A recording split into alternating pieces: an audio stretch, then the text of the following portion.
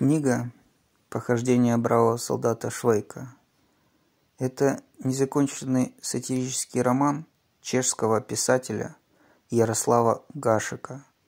Она рассказывает историю Йозефа Швейка, чешского торговца собаками, который был призван на службу во время Первой мировой войны. Швейк, хотя и считается форменным идиотом, становится неожиданно бравым солдатом и попадает во множество комических и абсурдных ситуаций.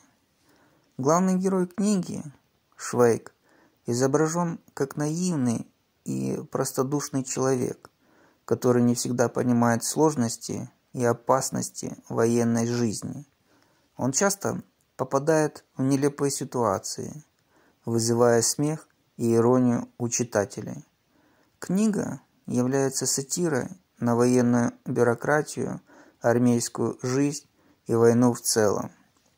Похождения бравого солдата Швейка стали одним из самых известных произведений чешской литературы и получили широкую популярность во всем мире.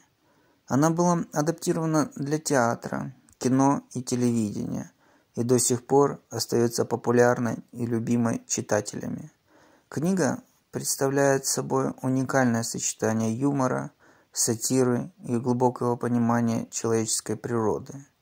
Она позволяет нам взглянуть на войну и военную жизнь с необычной иронией и задуматься над абсурдностью человеческих поступков. Если вы интересуетесь историей, сатирой и хотите окунуться в мир комических приключений, то книга «Похождение бравого солдата Швейка» будет отличным выбором для вас.